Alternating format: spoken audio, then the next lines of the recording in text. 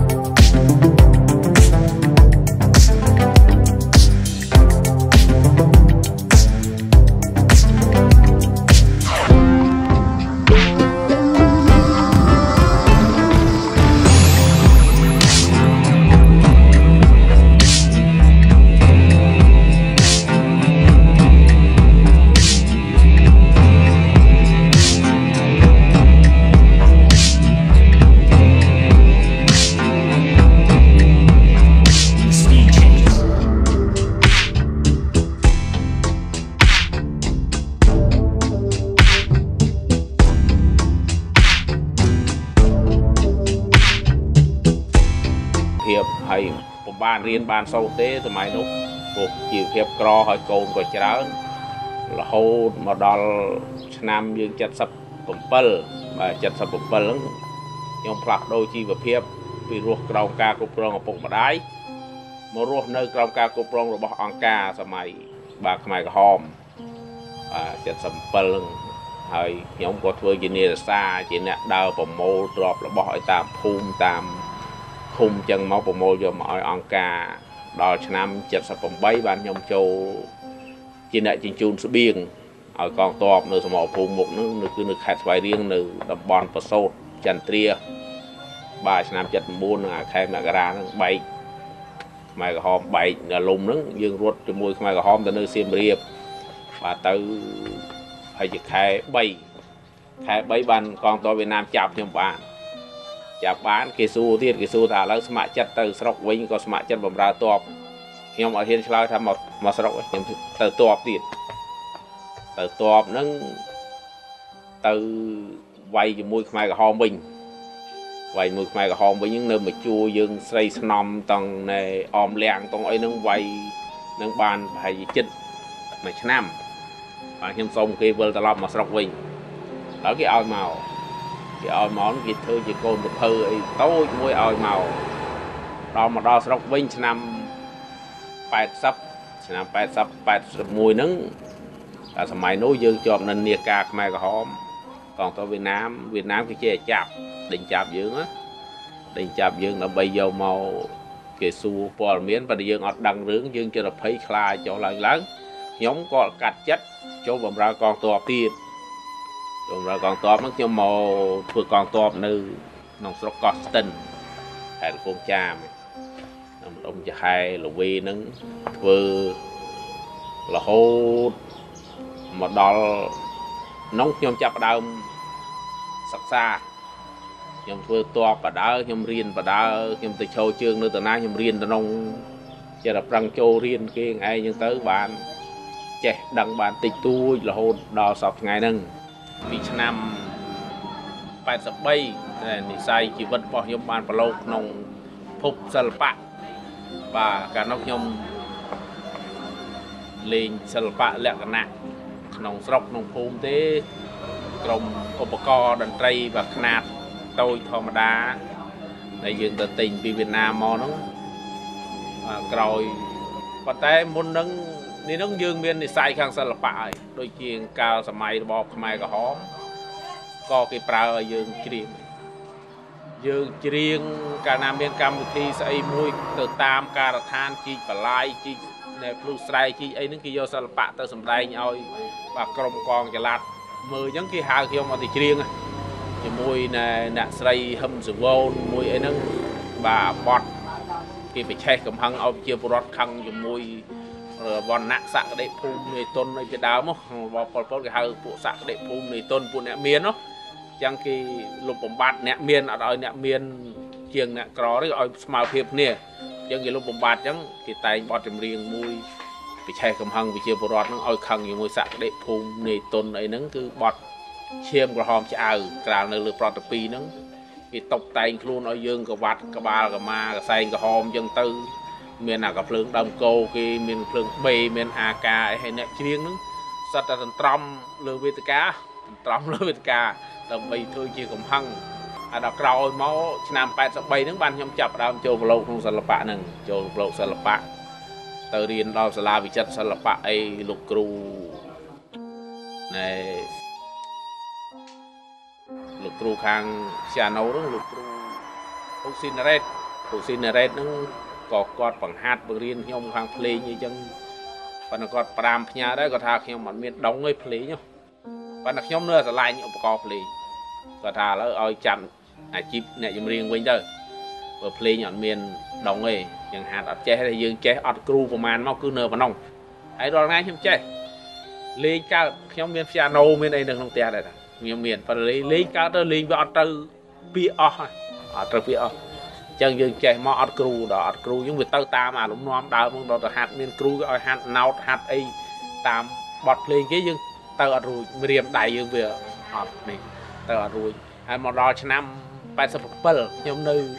ជាបលិសហើយហ្នឹងលោកស្រីហឹមសវនក៏គាត់ផ្ញើសបុតផ្ញើសបុតមកឲ្យទៅប្រឡងចម្រៀងនៅវិទ្យុជាតិនៅអីក៏ថាលោកឯងមកប្រឡងដឹងឲ្យជាប់ហើយចម្រៀងប្រហែលលោកឯងចង់ប្រពៃនេះក៏បានចង់សម័យក៏បានដែរចឹង ហើយប៉ុន្តែខ្ញុំដូចថាកាលនោះខ្ញុំនៅមានប៉ុនស័កមានទូនាទីនៅខាងប៉ូលីសសួងហត្ថីហ្នឹងយើងអត់សូវចាប់អារម្មណ៍ខាងសិល្បៈសោកស្ដាយដែរដល់ឥឡូវបានយើងសោកស្ដាយបាទហើយមកស្គាល់លោកចាប់ជៀនស្គាល់លោកក្រឹមស្គាល់លោកសំតារាស្គាល់អីហ្នឹង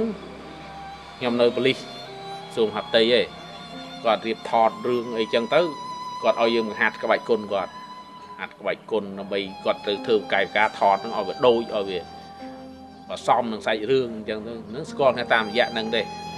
ដល់ក្រោយមកបានខ្ញុំចេញពីភ្នំពេញឆ្នាំ87ហ្នឹងគេជ្រើសរើសថាកង A3 បលីដែរប៉ុន្តែបលី A3 អញ្ចឹងគេបែងចែកពួកខ្ញុំទៅតាមខេត្តជាគ្រូបង្វឹកពួក A3 ហ្នឹងរហូតមកដល់ បានបង្ហាត់វឹកវើអីចប់នឹងនាំដឹកនាំក្រុម A3 ដើរធ្វើសង្គ្រាមជាមួយខ្មែរក្រហមមួយអីហ្នឹងធ្លាក់កំពង់ធំធ្លាក់ណែបៃលិនធ្លាក់ប្រទាយមានជ័យអដមានជ័យអីនឹងរហូតទល់ដល់សម័យអន្តៈចូលស្រុកបានយើងវិលត្រឡប់មករស់នៅក្នុងជីវភាពធម្មតាក្នុងស្រុកកញ្ចាយមាននៅឆ្នាំ91រហូត nữa ហើយហើយជីវភាពដែលខ្ញុំមករស់នៅស្រុកនេះខ្ញុំមកនៅឆ្នាំ91បាទឆ្នាំ91នេះខ្ញុំមកនៅដំបូងខ្ញុំមកនៅផ្ទះសម្ដេចជាស៊ីមបាទក្នុងនាមជាអង្គរៈការពារផ្ទះគាត់ទេដល់ឆ្នាំ92ឆ្នាំ93អ៊ុនតាក់ចូលមកខ្ញុំចាប់ផ្ដើមគេដាក់ពួកខ្ញុំនឹងជាកងដូចថាស្ម័គ្រចិត្តសហការជាមួយអ៊ុនតាក់ ជួយដឹកជញ្ជូនសម្ភារៈជាមួយអ៊ុនតាក់ជាមួយនេះនឹងរៀបចំកន្លែងបោះឆ្នោតអីចុះឡើងគ្រប់បែបយ៉ាងហ្នឹងឆ្នាំ1993ហ្នឹងបានខ្ញុំជួបជាមួយបាទភរិយារបស់ខ្ញុំនេះស្រុកកំណើតគាត់នៅខាងស្រុកពីរាំងគាត់មកធ្វើការនៅនេះនៅសាកលវិទ្យាល័យនេះជាមួយអង្គការ AACS ដែលគាត់មកបង្កើតសាកលវិទ្យាល័យវេទមហារស៊ីដំបងហ្នឹង ជួបហ្នឹងខ្ញុំ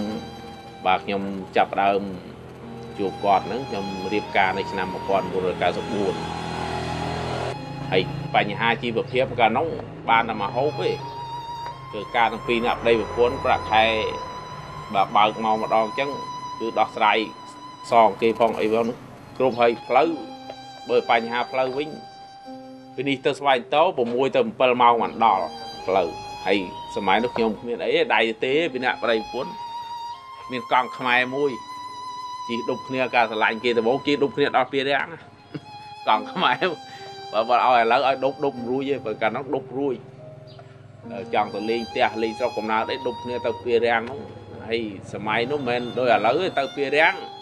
ចេញពីព្រឹកទៅដល់ម៉ោង5ល្ងាច6ល្ងាចបានដល់មិនដូចឥឡូវទៅ1ម៉ោងដល់ដូចឥឡូវទេ ពិបាកមែនទែនបើបច្ចុប្បន្នបងប្អូនខ្ញុំ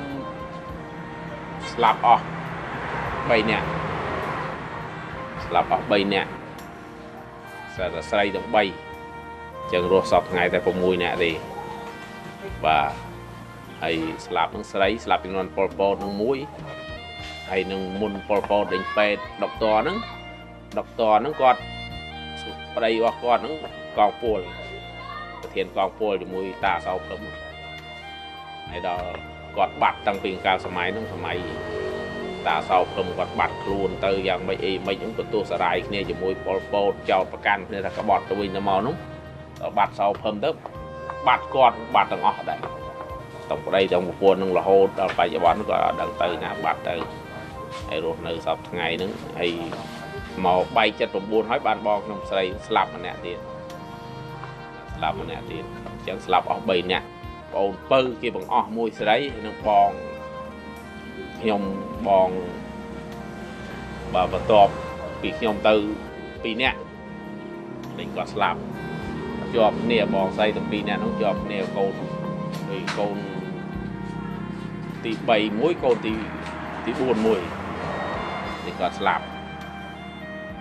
ហើយបច្ចុប្បន្នហ្នឹង រស់នៅតែម្ដាយទេពុកខ្ញុំស្លាប់កាលពីឆ្នាំ2012គាត់ស្លាប់ស្លាប់ខ្យល់កោអត់មានឈឺអីទេតែម្ដាយខ្ញុំឈឺហ្នឹងក៏អត់ស្លាប់ឈឺតាំងពីរហូតតាំងពីនល់ពតរហូតដល់ឥឡូវក៏អត់ស្លាប់គាត់ឈឺរស់ទាំងឆ្នាំរស់ទាំងនេះទេឪពុកខ្ញុំអត់ដែលឈឺសោះហ្នឹងគាត់ស្លាប់ខ្យល់កោកាលបាទបច្ចុប្បន្នខ្ញុំរស់នៅនេះខ្ញុំមានកូន2នាក់ហើយ ខ្ញុំនឹកឃើញតែមានការជឿចាប់ដោយសារការធំឡើងដឹងក្តីរបស់ខ្ញុំមិនបានរៀនបានសូត្រហើយក៏ខ្ញុំខិតខំប្រឹងរកដើម្បីជំរុញកូនធ្វើម៉េចឲ្យបានសិក្សារៀនសូត្រនឹងឲ្យបានបាទដល់ទីបញ្ចប់ព្រោះបច្ចុប្បន្នឥឡូវបាទផ្លូវគមនាគមន៍ក៏ល្អសាលារៀនបាទសាលារៀននៅជាប់ផ្ទះហើយឡើយបាទទាំងវិទ្យាល័យទាំងសាកលវិទ្យាល័យនៅជាប់របងផ្ទះអញ្ចឹងខ្ញុំត្រូវតែជំរុញធ្វើម៉េចឲ្យកូនរៀនឲ្យចប់ឲ្យ ចង់ចប់ដើមដើម្បីជៀសផុតពីភាពអក្ខរកម្មបាទព្រោះឪពុកម្ដាយដែលចាស់ចាស់ពីមុនមកហ្នឹងដូចជាខ្ញុំអីជាដើមមិនបានទេអត់បានរៀនបានសូត្រទេហើយខ្ញុំសំណាងដែលខ្ញុំបានចូលជាមន្ត្រីអប់រំនៅក្នុងស្រុកបញ្ចាយមានព្រោះជីវិតរបស់ខ្ញុំមិនមិនដែលបានរៀនបានសូត្រសាលាណានេះឲ្យចប់ចុងចប់ដើមទៅរៀននេះមកចប់នោះមកចប់បានចេះមកសរសេរកើតបានមើលអក្សររួចបានប៉ុណ្ណឹងហើយបច្ចុប្បន្នខ្ញុំនៅ បាទមន្ត្រីអប់រំក្នុងស្រុកវិទ្យាមានក៏ខ្ញុំអត់មានរូបកសលមានអីបានទៅពង្រៀនសិស្សទេខ្ញុំធ្វើការនៅអវរោទេហើយក៏បានគុណបំណាច់បាទបោះបាទអ៊ំដែលជាប្រធានកែឡាយអប់រំស្រុកពីមុនមកហើយនឹងប្រធានទីអប់រំខេត្តគាត់ស្គាល់គាត់ឆ្លាញ់អញ្ចឹងគាត់ហៅខ្ញុំមកចូលបម្រើការជួអប់រំរហូតបច្ចុប្បន្នហ្នឹងខ្ញុំបានចូលជំរឿនចូលជាក្របខ័ណ្ឌពេញសិនរបស់គ្រូបង្រៀនក្នុងជួអប់រំហ្នឹងហើយចឹងខ្ញុំបដិញ្ញាចិត្ត ដើម្បីតបស្នងសងគុណដល់ប្រមុខរដ្ឋាភិបាលដែលគាត់បានអភិវឌ្ឍប្រទេសជាតិឲ្យមានសន្តិភាពបាទឲ្យមានស្ថិរភាពគ្រប់បែបយ៉ាងគាត់ធ្វើផ្លូវល្អធ្វើសាលារៀនធ្វើវត្តអារាមបានល្អខ្ញុំបដិញ្ញាជំរុញកូនខ្ញុំដើម្បីឲ្យរៀនឲ្យចប់ចុងចប់ដើមដល់ទីបញ្ចប់នឹងស្វែងរកការងារធ្វើដោយខ្លួនគេរកអនាគតឲ្យខ្លួនគេកុំអោយបាទល្ងិតល្ងងដូចជាយើងសម័យមុនបាទ បាទហើយសូមជូនពរដល់ប្រមុខរដ្ឋាភិបាលបាទជួបប្រទះតែក្តីសុខក្តីចម្រើននិងឈ្នះមានសត្រូវគ្រប់ទិសទីបាទឈ្នះអ្វីអ្វីទាំងអស់ទោះបីបាទចង់មានចង់ជ្រែកចង់បាទផ្ដួលរំលំយ៉ាងណាក៏សូមឲ្យបាទបារមីនៃស្វេតឆ័ត្រទាំង8នៅប្រទេសជាណាចក្រកម្ពុជា ជួយថែរក្សាបាទប្រមុខដឹកនាំនិងអិសរាជជនទាំងជាន់ខ្ពស់ទាំងអស់ដែល បានដឹកនាំបានរំដោះប្រទេសជាតិឲ្យបាទផុតពីភ្លើងភ្នក់សង្គ្រាមបាទសូមអរគុណបាទពេលវេលាពិតជាមានប្រយោជន៍តិចឬច្រើន គឺត្រូវតែមានប្រយោជន៍តែបើអ្នកបានចំណាយពេលវេលាអស់ទៅហើយនៅតែមិនទទួលបានផលប្រយោជន៍នោះមានន័យថា អ្នកបានចំណាយពេលវេលាដោយខុសគោលដៅដែលអ្នកប្រាថ្នាចង់បានហើយចាស់ដោយពេលវេលាមានកំណត់កម្មវិធីជីវិតខ្ញុំក៏បានដល់ទីបញ្ចប់សម្រាប់សប្តាហ៍នេះ ក៏សូមអរគុណដល់សាកលវិទ្យាល័យកម្ពុជានិងសូមអរគុណដល់មជ្ឈមណ្ឌលបណ្ដុះបណ្ដាលភាសាអង់គ្លេស CES សូមគោរពជូនពរទៅដល់ទស្សនិកជនទាំងអស់សូមលោកអ្នកប្រកបតែសេចក្តីសុខនិងសុភមង្គលគ្រប់ក្រុមគ្រួសារសន្យាជួបគ្នាតាមពេលវេលានិងម៉ោងដដែលក្នុងពេលនេះយើងខ្ញុំទាំងអស់គ្នាសូមអរគុណនិងសូមគោរពលា